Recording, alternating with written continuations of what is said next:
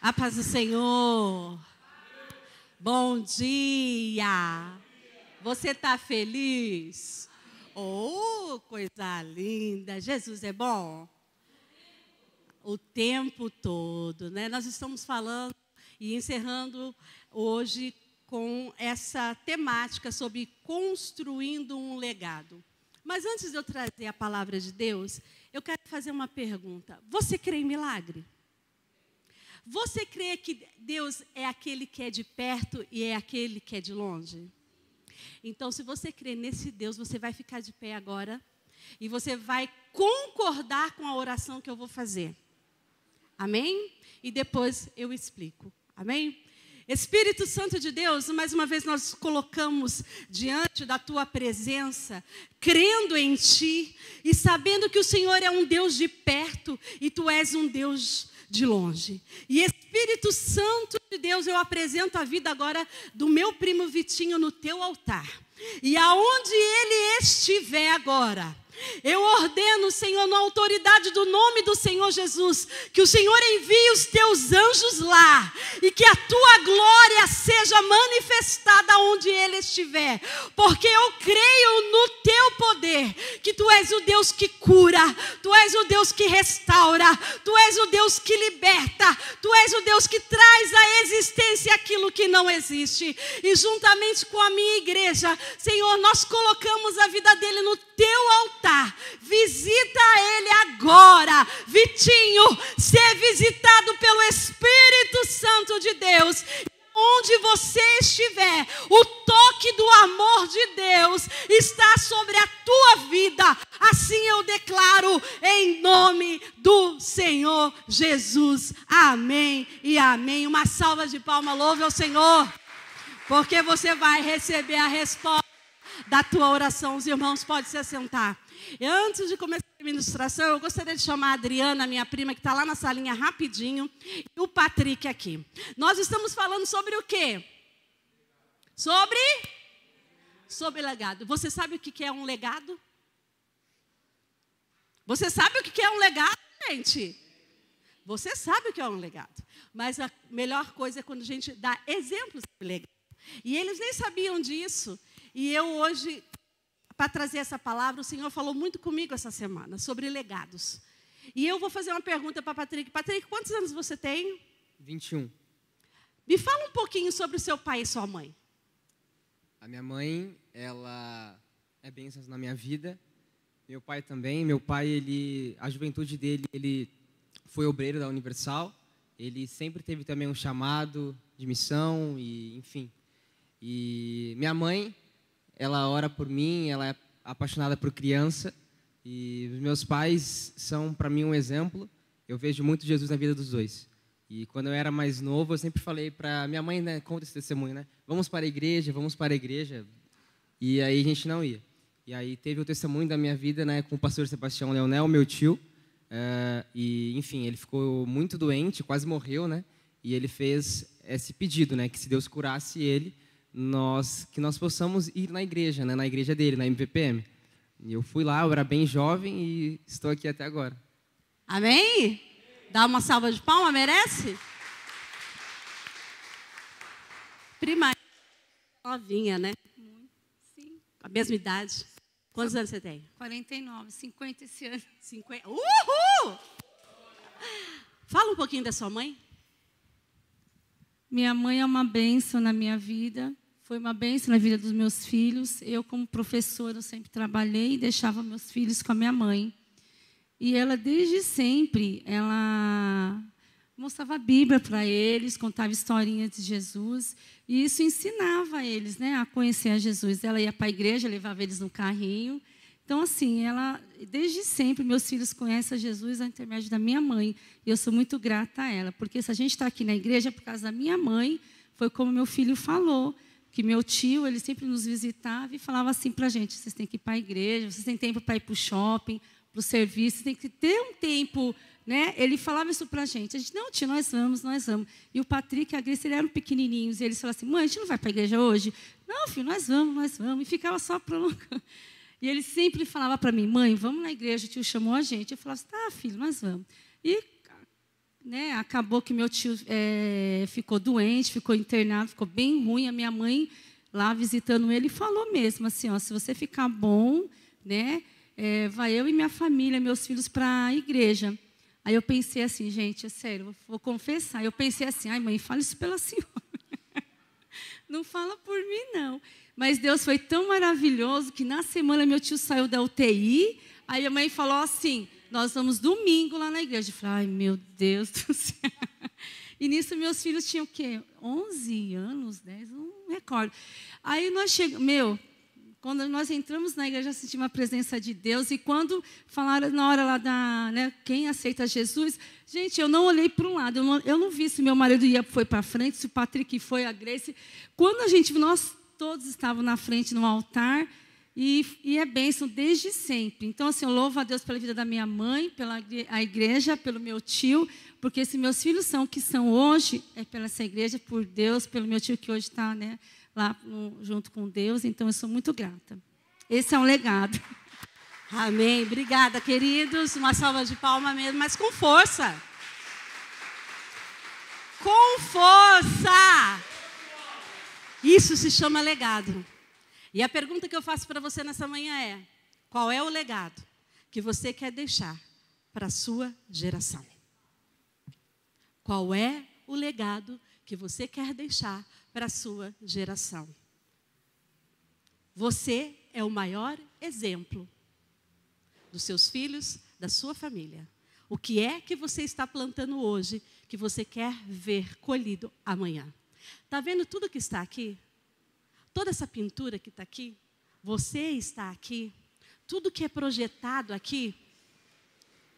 Um dia, uma mulher usada por Deus com toda a autoridade do Espírito Santo, ela não está aqui hoje para honrá-la. Mãe, eu sei que você está aí. Deus usou ela para MVPM constitucional existir. Foi através dela, da mente dela, da unção que Deus derramou sobre ela, para estar aqui. Nós somos o legado de uma família que ama Jesus acima de todas as coisas. E dentro dessa palavra, essa semana, eu buscando sobre quem falar.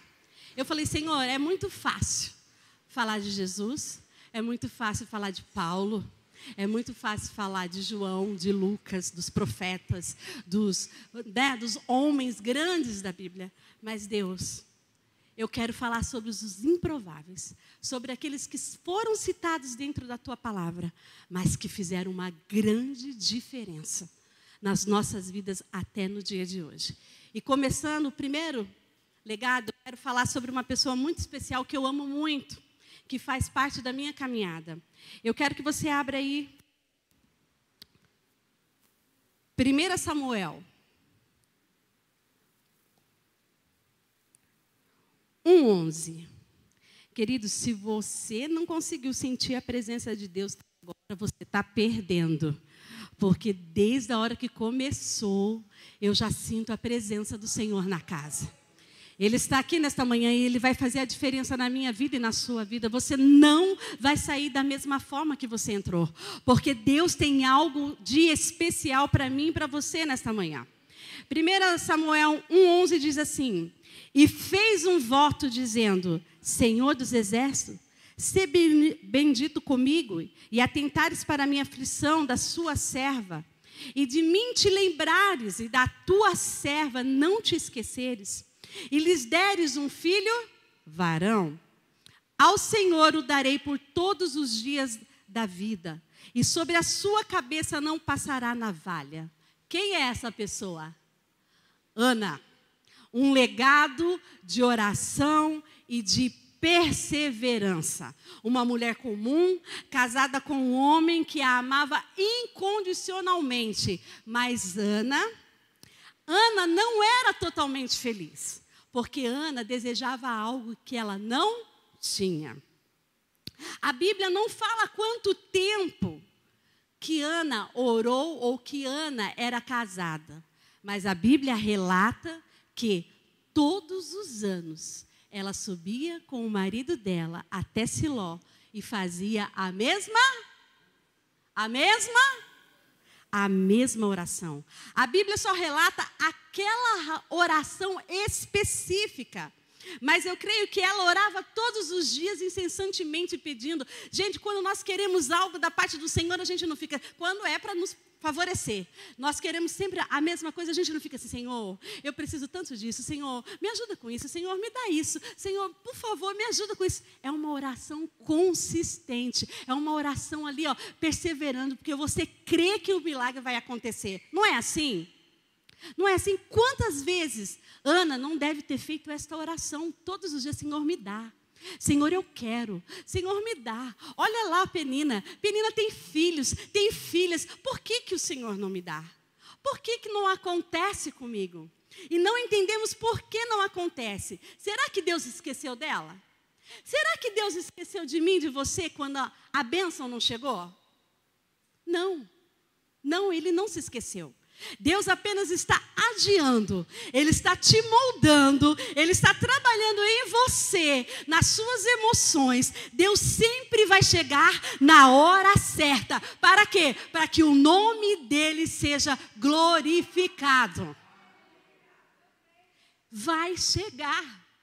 Não importa o tempo que está levando, creia, vai chegar. Não pare de orar.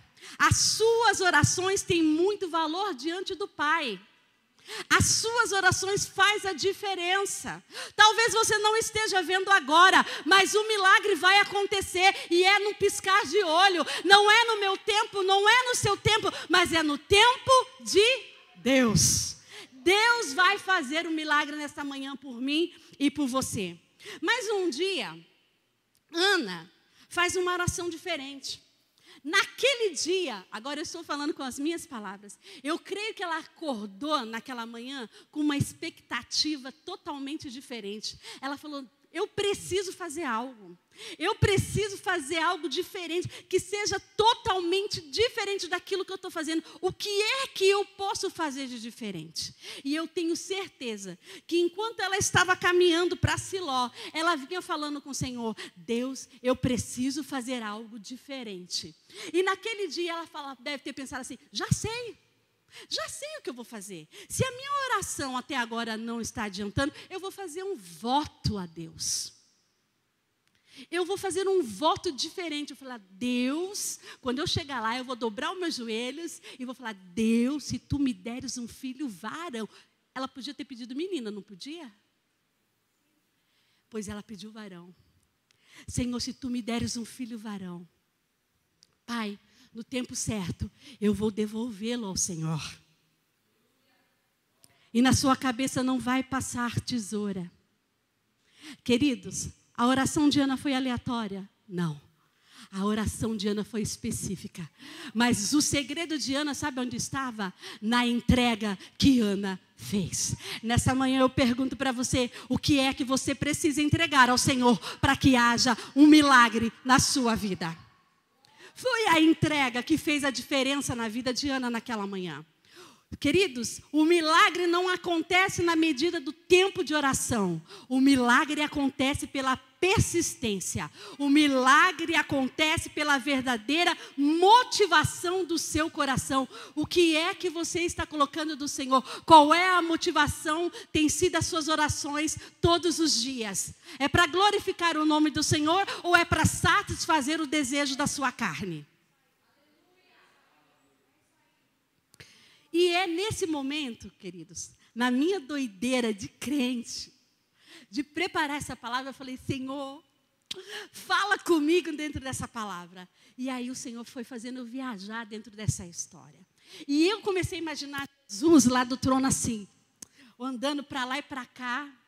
Aí Ana dobra os joelhos para orar no altar. E quando Ana faz aquela oração, ele fala: opa! Hoje é diferente. Hoje aconteceu algo diferente. A minha filha chegou no ponto que eu queria. Eu estava precisando e estava querendo ouvir esta oração. É essa oração que eu queria ouvir. Sabe por quê, querido? Porque a história conta que Ana teve Samuel e Samuel foi o último juiz de Israel. Não foi uma oração aleatória. Naquele tempo, Eli estava velho, estava cansado. Seus filhos que podiam, que eram profetas, podiam substituir, estavam causando na cidade, estavam pecando, estava levando Deus a se entristecer com aquela história. A cidade inteira estava sabendo disso. Ana foi esperta. Ana orou e pediu um varão. Ela já pensou: poxa vida, o meu filho pode ser a diferença. O meu filho vai ser aquele que pode ser usado por Deus para mudar a história de Israel. É assim que eu creio, assim que eu vejo, porque uma pessoa que tem Deus no coração, uma pessoa que sabe orar direto, sabe dirar com certeza, coloca as palavras certas. Ela deseja primeiro pelos outros, para depois desejar o desejo dela. Primeiro, ela colocou diante de Deus o desejo de uma nação restaurada, e depois o desejo de ser mãe. Porque você acha que foi fácil para Ana abrir mão do seu filho depois de um tempo? Depois que Deus trabalhou na vida de Ana e deu aquele filho maravilhoso que ela tanto pediu, anos após anos, subindo a Siló para orar. Você acha que foi certo o coração daquela mãe não ter ficado estraçalhado na hora de entregar aquela criança?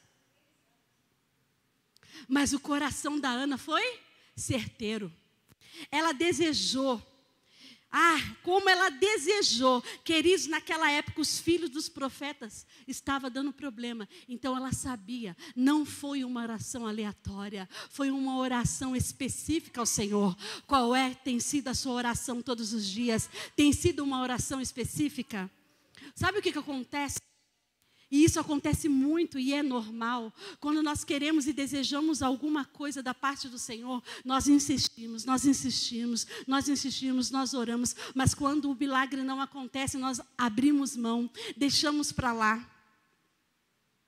E nessa manhã o Senhor quer me ensinar me ensinar e te ensinar. Não desista da oração. Deus vai agir no momento certo.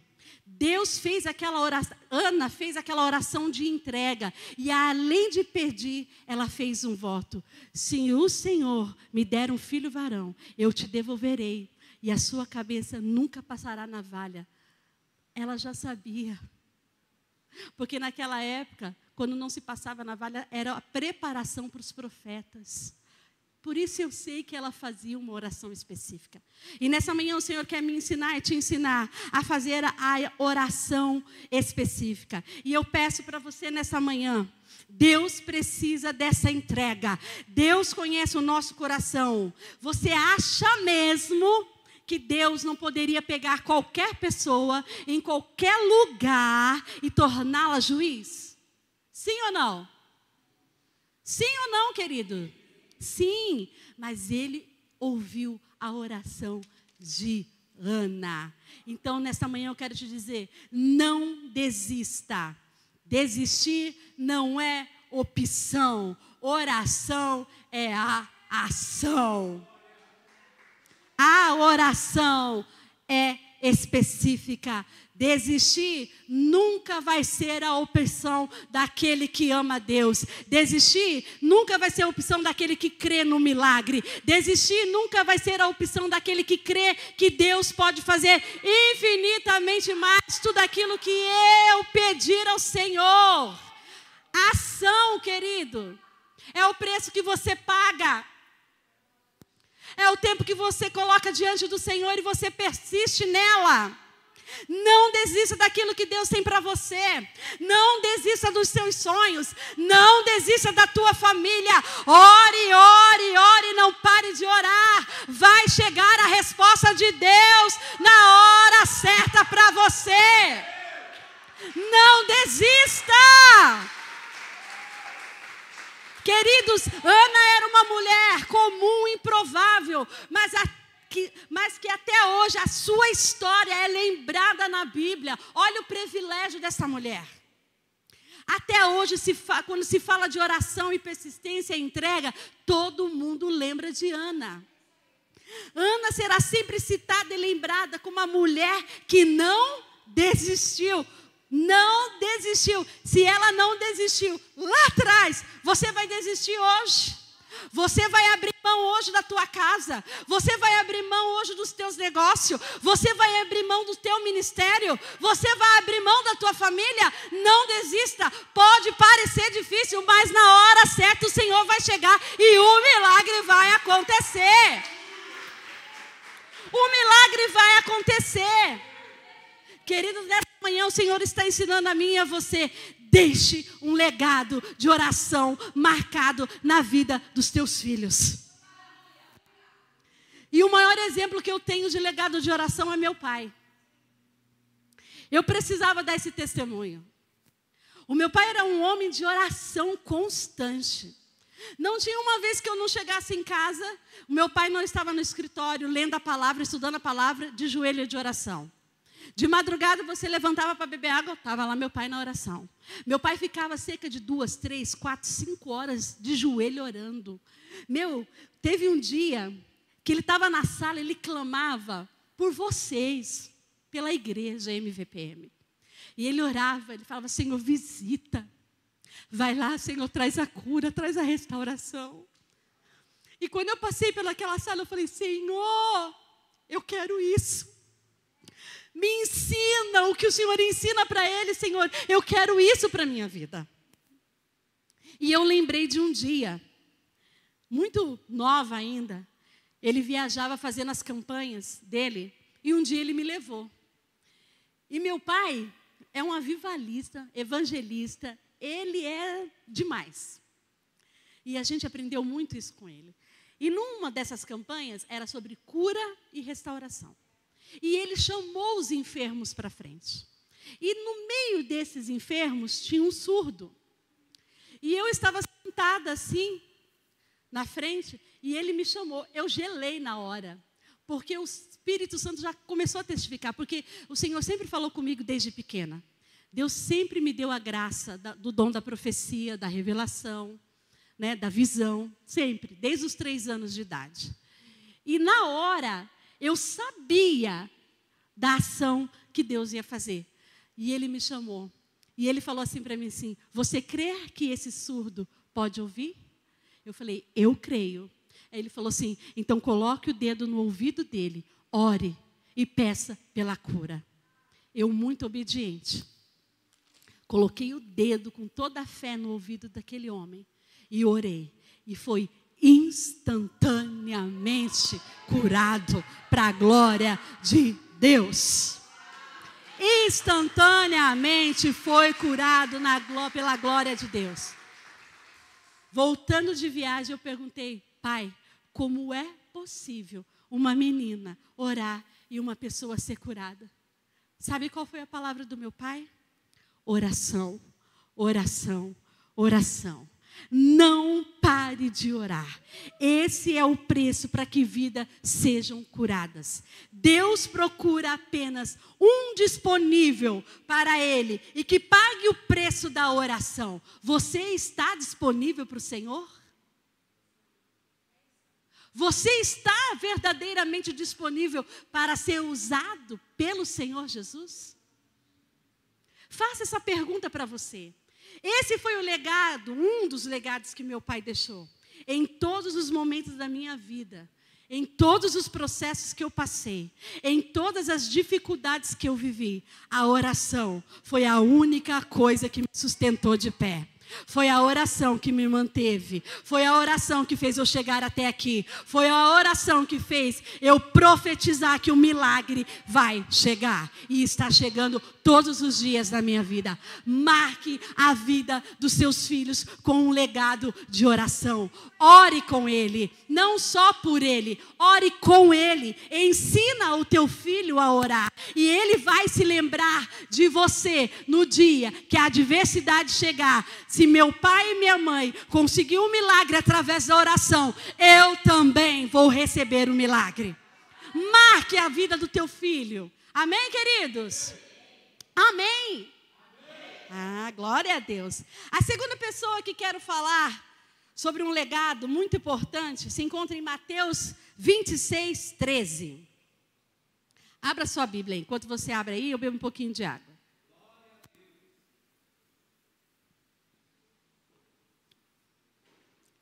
Amém? Maria Madalena, legado de adoração. Pode colocar o versículo. Com toda certeza vos afirmo, em todos os lugares do mundo, aonde? Na casa? Na cidade? Vamos lá? Em todos os lugares do mundo, onde este evangelho for pregado, igualmente será contado o que essa mulher realizou como um, como um, como um, querido, a ela. Memorial. Sabe o que é isso, querido? É você fazer algo para Deus e o resto da vida vão lembrar daquilo que você fez. Aquilo que você plantou na vida de alguém vai ser lembrado para o resto da vida dela. E Deus marcou a vida desta mulher. Porque quem era Maria Madalena? Era conhecida como uma prostituta, ou talvez a mulher endemoniada. Era uma mulher de posses naquela época, influente na sociedade, mas ela tinha esse problema. A história diz que Jesus, um certo dia, estava na casa de Simão. E de repente, enquanto ele jantava, uma mulher entrou trazendo um vaso de alabastro. Ela entra silenciosamente, ela não tinha sido convidada. E quando você não é convidado, você é o quê? Quando você não é convidado, você é o quê? Penetra no popular. Concorda? Né? Mas o que aquela mulher foi fazer lá? O que é que aquela mulher foi fazer lá? Ela foi adorar. Adorar. Queridos, uma palavra para você. Quem é um adorador não precisa ser convidado para adorar. Quem é um adorador não precisa ser convidado para adorar. O adorador aproveita todas as oportunidades para adorar a Deus e glorificar o nome dele. Você é um adorador? Você precisa de um convite do Senhor para adorá-lo? Você tem toda a liberdade na sua casa, na sua igreja, aonde você estiver para adorar, e você ainda acha que precisa de uma permissão para adorar a Deus? Não, queridos. Adoração é constantemente aonde você estiver. O adorador, ele adora em todos os momentos, em todos os lugares. O adorador adora na dor, adora na alegria, adora em todo momento. Esse é o verdadeiro adorador. Você tem adorado a Deus. Ou só quando as coisas estão boas? Quando as coisas estão perfeitinhas, do jeito que você quer, você adora a Deus? Não, não é isso que o Senhor quer. O adorador, ele adora em todo o momento, até quando está chorando lá, se cabelando na frente da oração. Deus está recebendo. Ele sabe que você é um adorador. E essa mulher, ela quebrou uma tradição judaica. Porque na hora da ceia era sagrado.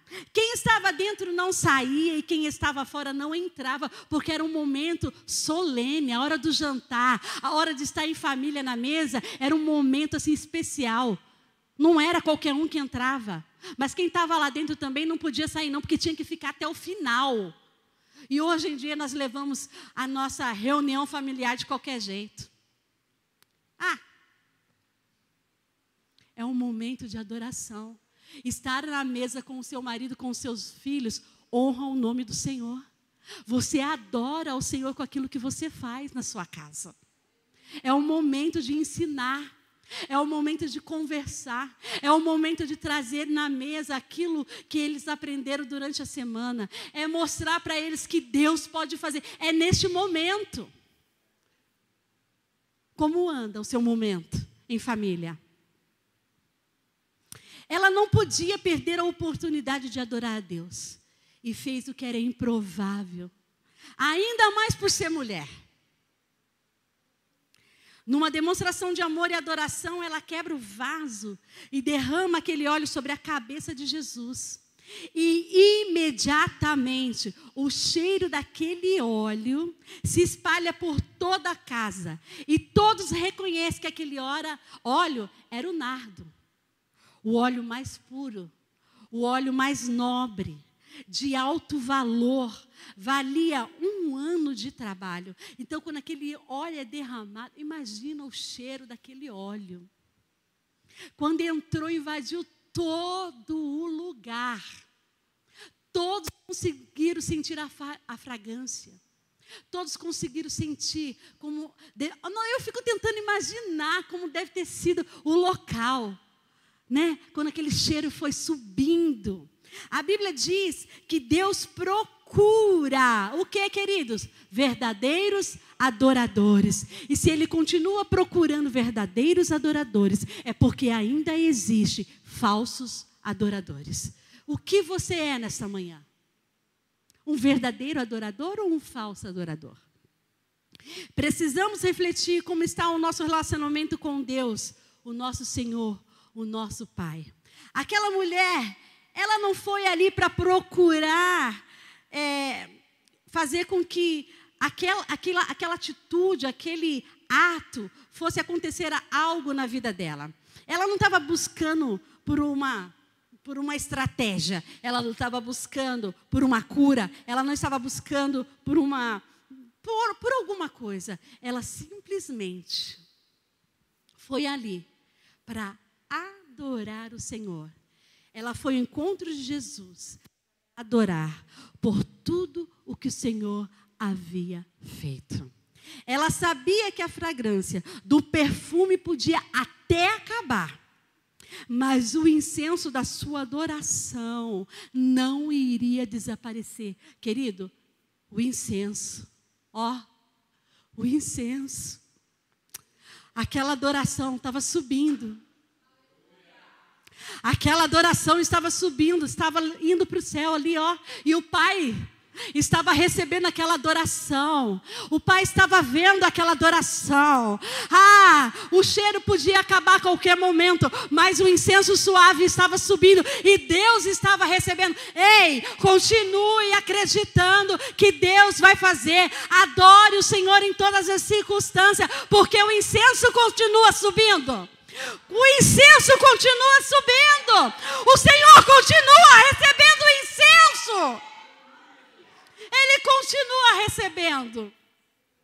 E quando li essa história, eu me deparei com essa adoração. O Senhor me fez viajar porque é isso que eu gosto.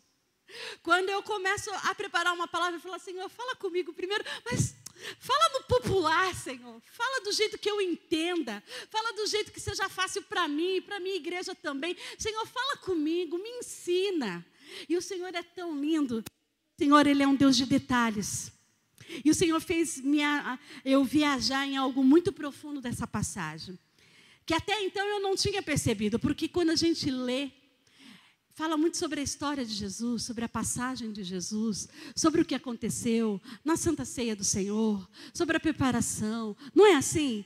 E eu me apeguei. Fala também, muitos pregadores falam sobre o nardo, sobre o efeito do nardo, mas essa mulher me chamou a atenção tremendamente. Sabe por quê? Porque eu consegui enxergar algo que eu não tinha é, visto antes. Mas isso é algo que eu perguntei ao Senhor e o Senhor revelou a mim, tá? O nardo era muito caro. Quando ela, sem saber, sem saber, ela derrama o nardo sobre a sua cabeça, ela estava ungindo Jesus, preparando Jesus, adorando Jesus por aquilo que ainda ia acontecer.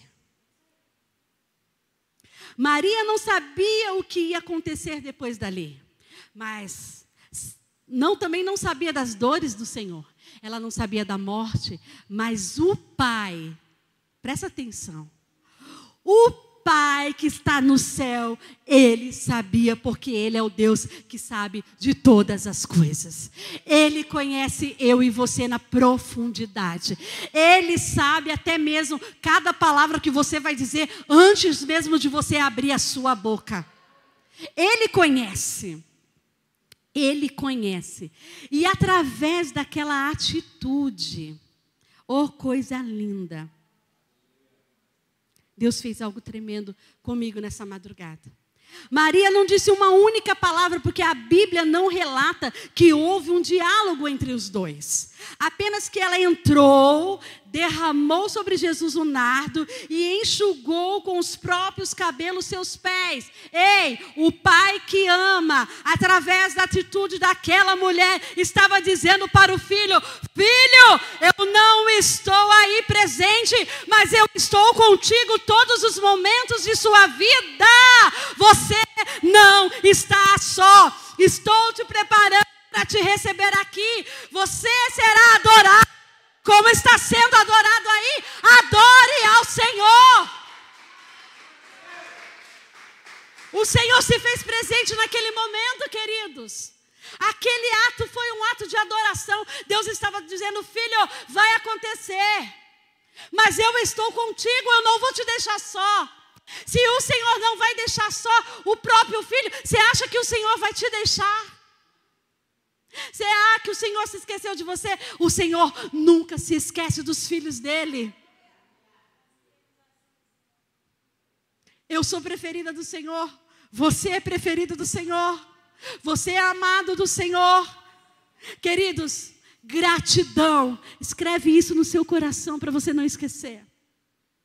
Gratidão é o que Maria tinha por Jesus, por tudo que tinha feito por ela.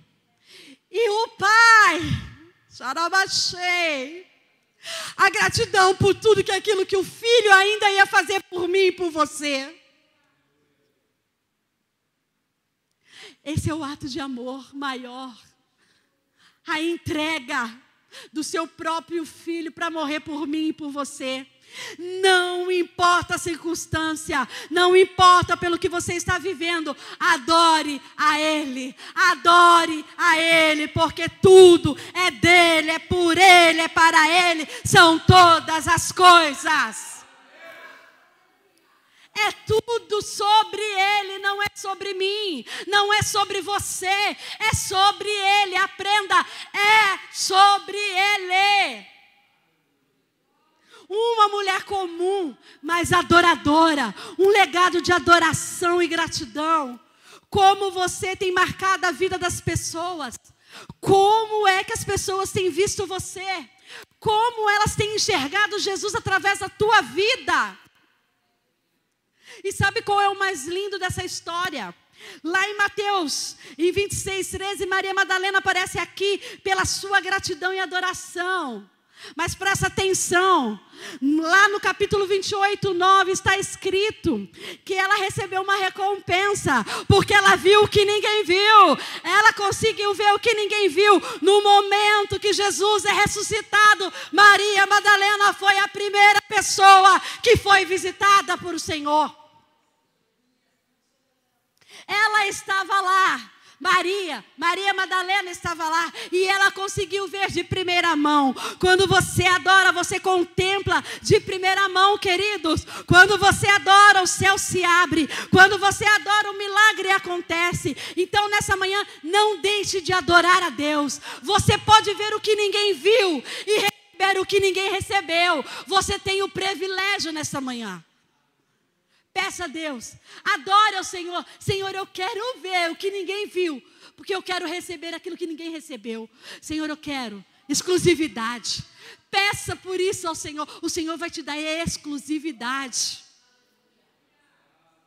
Eu não sei como você chegou aqui nesta manhã, mas eu posso dizer como foi a minha semana de muito choro porque essa palavra foi falando comigo todos os dias. E quantas e quantas vezes eu mudei essa ministração. Mas quanto mais eu preparava essa palavra, mais o Senhor falava, mais o Senhor me funcionava. Mais o Senhor fazia enxergar a Raquel lá do passado e trazer a Raquel para o novo. E o novo de Deus é para mim e para você. Ele quer ter uma comunhão nova contigo. Ele quer fazer milagre através da sua vida. Ele quer um novo adorador. Ele quer que você faça milagre através do nome dele, mas você precisa estar disponível para isso. Amém, queridos? Aleluia. A terceira pessoa e última que eu quero falar com você sobre um legado se encontra em Mateus 1:24. Abra sua Bíblia. Queridos, pessoas improváveis pessoas comuns, O Senhor é especialista em pegar pessoas comuns para fazer uma grande obra, para ser usado na mão dele. Pessoas comuns, mas que estão escritas na Bíblia. Quantos anos já se passaram e até hoje se fala dessas pessoas? Será que quando você morrer, as pessoas vão ter o que falar de você?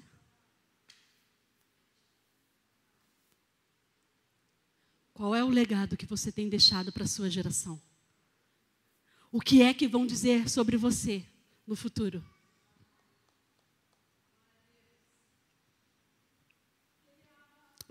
Mateus 1, 24. José, legado de obediência e idade. Pode colocar o versículo.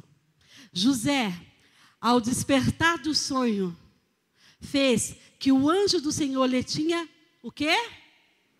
O quê, queridos? E recebeu Maria como sua mulher. José foi chamado pelo anjo de filho de Davi. Uma expressão também aplicada a Jesus em diversas vezes, e que neste contexto significa explicitamente que José era herdeiro legal de Davi. E isso está descrito na árvore genealógica lá no livro de Mateus. Se você pegar o livro de Mateus, abrir no primeiro capítulo, você vai ver a árvore genealógica e lá está da onde José veio.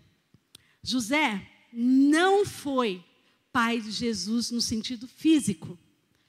Mas a paternidade legal também era importante naquele tempo, visto principalmente pela linhagem de José, um filho de Davi.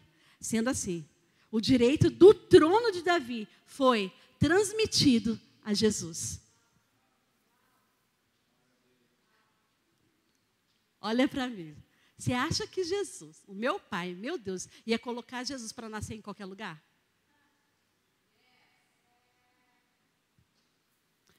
É assim que Deus faz comigo e com você.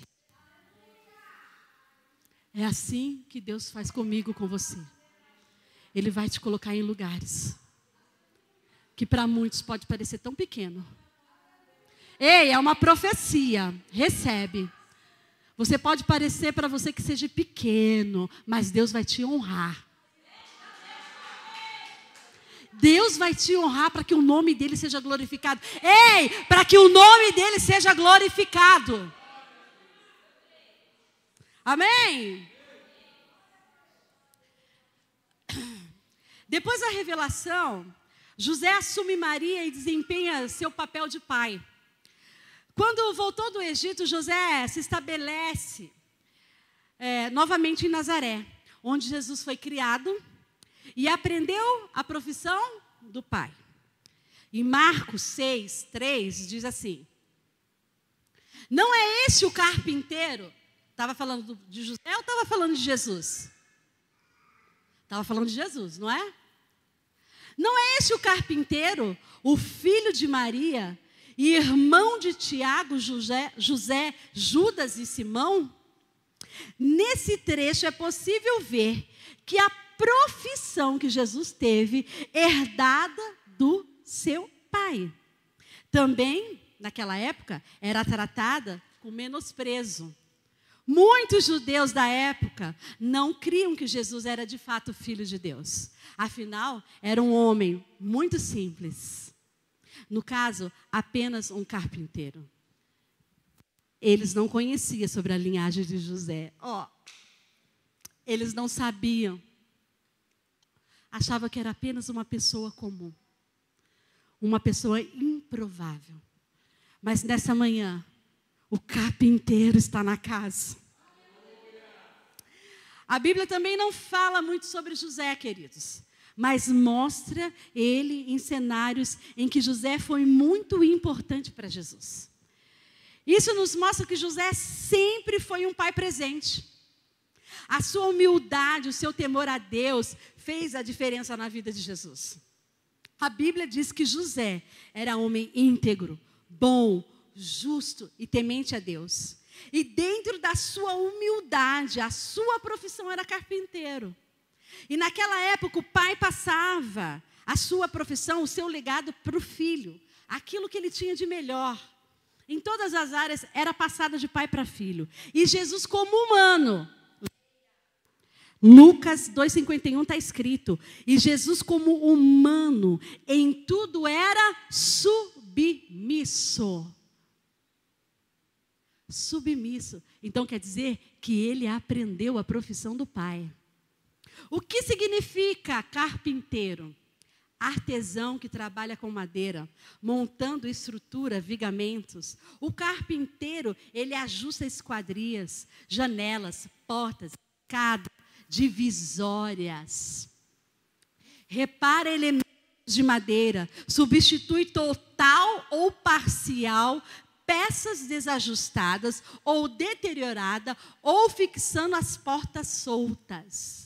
O que eu quero dizer para você nessa manhã, que o carpinteiro está aqui na casa e Jesus é especialista em mudar pessoas e situações. Aquilo que para o homem é descartável, para Deus tem conserto, para Deus tem reparo.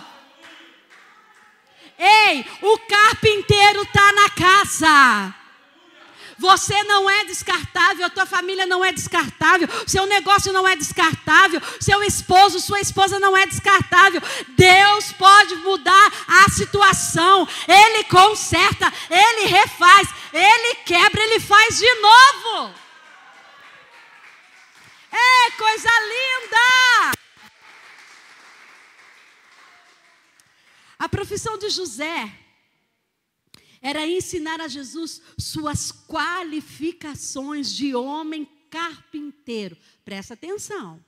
A profissão de José era ensinar a Jesus suas qualificações de homem de carpinteiro e o Pai celeste suas qualificações de rei.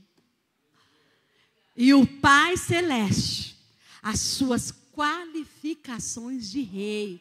E eu te provo isso, sabe como? Jeremias 17, 10 diz: Eu, Senhor, eu sou o Senhor que esquadrinho o coração do homem. Em Malaquias 3,10 ele diz: Provai e vede, diz o Senhor dos exércitos, se eu não vos abrir as janelas dos céus. Em João 10,9 ele diz: Eu sou a porta e se alguém entrar por mim será salvo.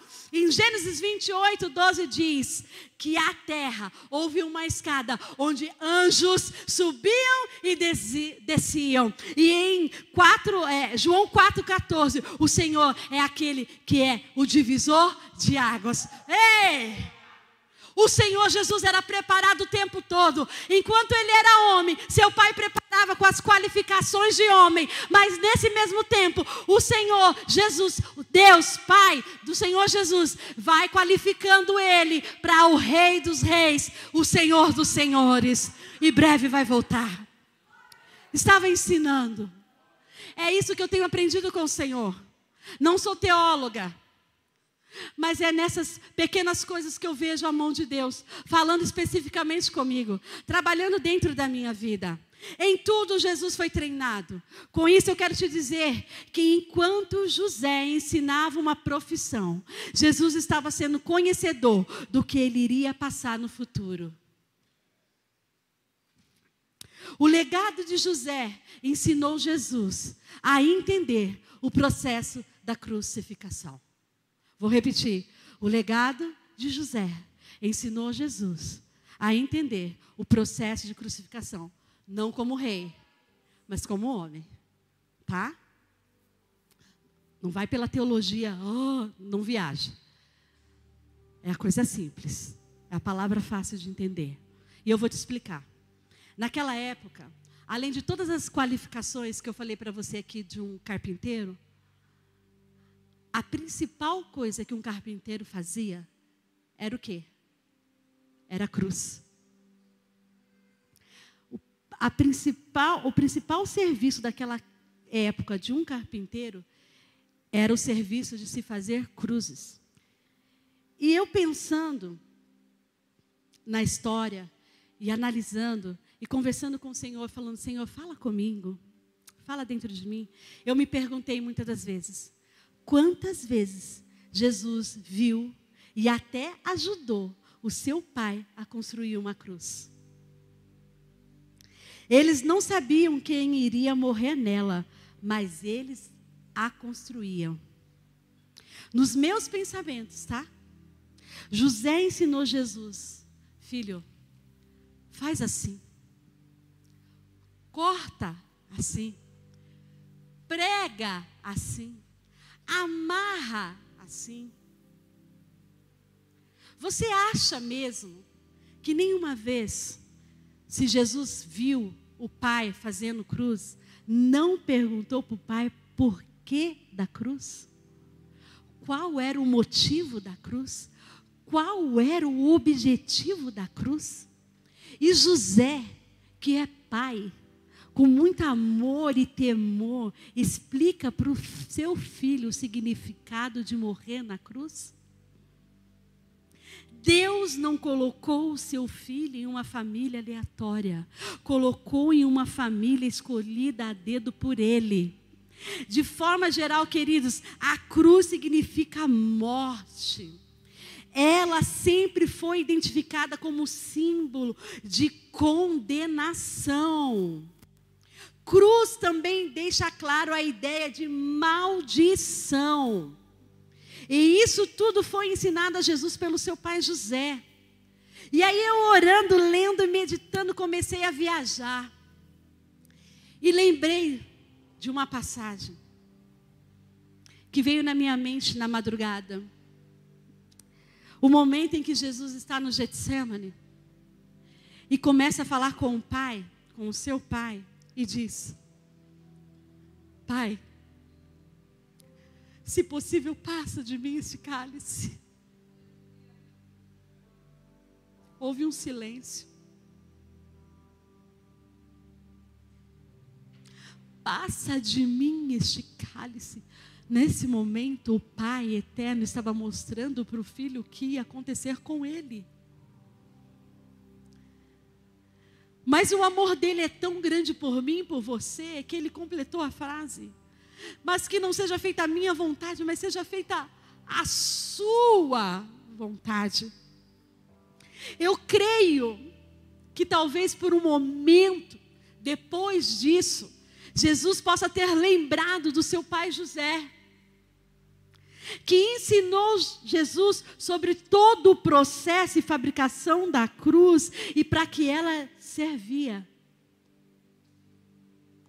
Mas nunca se esqueça, eu e você, que Jesus tinha qualificações de um carpinteiro, mas também tinha qualificações enxertadas por um Pai eterno.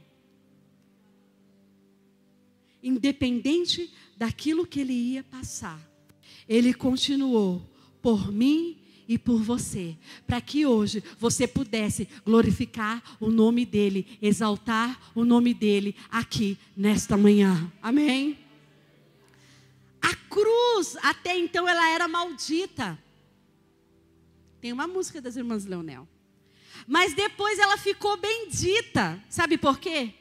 Porque o sangue de Jesus foi derramado naquela cruz por mim e por você. E ao tomar sobre si a iniquidade daqueles que mereciam a morte, ele recebeu o castigo e morreu em lugares de pecadores. Morreu por mim e por você. Morreu por mim e por você. Morreu por mim e por você. Morreu por mim e por você. A cruz passa a ser a redenção minha e sua. José morre. A Bíblia não fala dele na morte de Jesus, mas o seu legado será lembrado até que Jesus volte. A cruz é o símbolo também de um carpinteiro que a fez. A pergunta que eu deixo para você nessa manhã: qual é o legado que você está querendo deixar para a sua geração? O que é que você está preparando para o futuro? Como é que você quer ser visto no futuro? E eu gostaria que você ficasse de pé nessa manhã. E orasse. Colocasse diante do Senhor aquilo que você precisa. Aproveita o momento para fazer uma entrega ao Senhor. O que é que está te impedindo de adorar o Senhor? O que é realmente que está te impedindo de você se soltar na presença dEle? Se abra nesta manhã. Coloca diante dEle. Fala tudo para Ele. O carpinteiro está aqui. Ele já morreu por mim, por você na cruz. Pelos meus pecados, pelos seus pecados. E Ele está aqui nesta manhã, dizendo para mim e para você: Ei, eu não desisto de você. Eu estou contigo em todos os momentos da sua vida. Creia somente em mim. Não desista. Ore, ore, ore, ore e não pare de orar. Espírito Santo de Deus, muito obrigado, Pai, por esta palavra. Muito obrigado, Senhor, por mais esse momento, Senhor, na tua casa. Senhor, muito obrigado porque antes mesmo de trazer, o Senhor falou comigo, o Senhor trabalhou em mim. Senhor, que nesta manhã nenhum dos meus irmãos venham sair com dúvidas, mas que eles tenham a certeza em crer e acreditar que o Senhor é Deus do impossível. O Senhor é Deus do impossível. O Senhor visita perto, o Senhor visita longe. O Senhor faz milagre, fez milagre no passado e continua fazendo milagres. Senhor, que nós não venhamos desistir de orar, mas crer, Senhor, no teu poder de restauração, de mudança, de transformação, de cura. Continuar crendo em milagres. Senhor, nesta manhã, que o teu Santo Espírito venha invadir cada um de nós. E que nós possamos sair daqui com a certeza que o Senhor é conosco em todos os momentos de nossa vida. Muito obrigado, Senhor, por essa oportunidade. Eu te louvo e eu te agradeço por esses momentos. Assim eu oro e assim eu agradeço em nome do Senhor Jesus. E se você recebeu essa palavra, dá uma salva de palmas. E eu agradeço a oportunidade em nome do Senhor Jesus. Amém?